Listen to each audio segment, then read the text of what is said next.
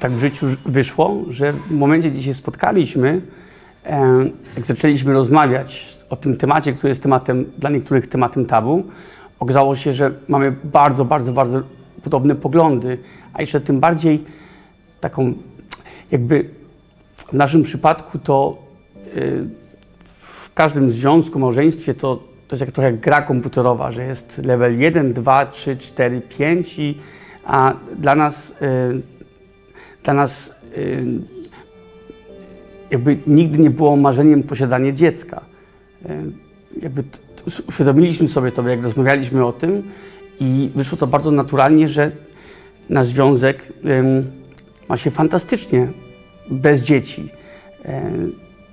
I na pewno, nie wiem, macierzyństwo to, to nie jest to, co, co w tej chwili by miało ratować nasz związek albo miało nasz związek rozwijać. Dobrze mówię?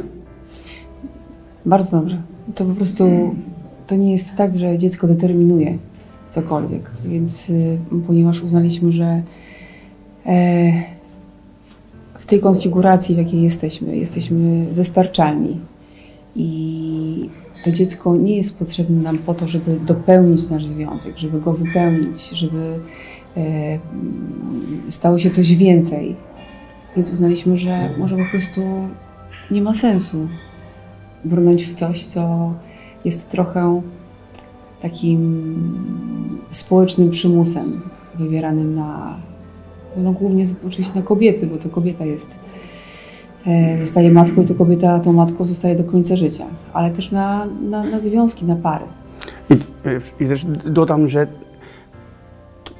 żaden z nas nie miał takiego pragnienia. Nigdy nie było coś takiego, że ktoś z nas powiedział, to jest to, jest to co naprawdę bardzo bym chciał, żebyś nie wiem, ty Dorota, żeby czy wydarzyło, żeby się wydarzyło w, na, w naszym. A jak już zaczęliśmy tak na poważnie o tym rozmawiać, to wyszło na to, że może niektórzy będą z boku mówić, że jesteśmy wygodni. A ja bym powiedział, że w naszym wieku już, z takim doświadczeniem i jeszcze z niekoniecznie ogromnym potrzebowaniem zostać rodzicem, nie będziemy naszego związku ryzykować tym, co jest macierzyństwo.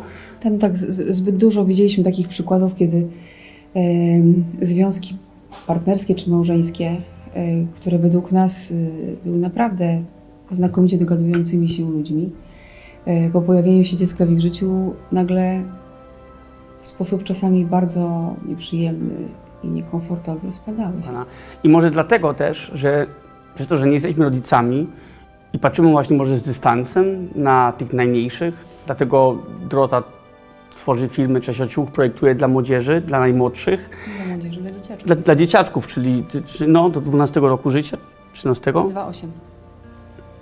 Czyli od 2 do 8 lat. Od 2 do 8 lat, a ja znowu y, y, mam projekt Grajkowej Przyszłości, gdzie... gdzie, Ty gdzie masz.